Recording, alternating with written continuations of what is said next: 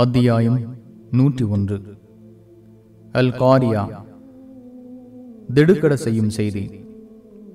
அளவற்ற அருளாளனும் நிகரற்ற அன்புடையவனுமாகிய அல்லாஹுவின் பெயரால். திடுக்கட செய்யும் நிகழ்ச்சி. அது என்ன திடுக்கட செய்யும் நிகழ்ச்சி? திடுக்கட செய்யும் நிகழ்ச்சி என்னவென்று உமக்கு எப்படி தெரியும்? அந்நாளில் மனிதர்கள் சிதறடிக்கப்பட்டு ஈசல்களைப் போலாவார்கள்.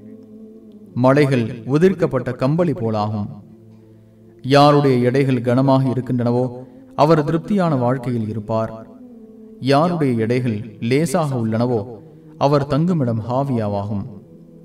ஹாவியா என்றால் என்னவென்று உமக்கு எப்படி தெரியும்? அது சுட்டெரிக்கும் நெருப்பாகும்.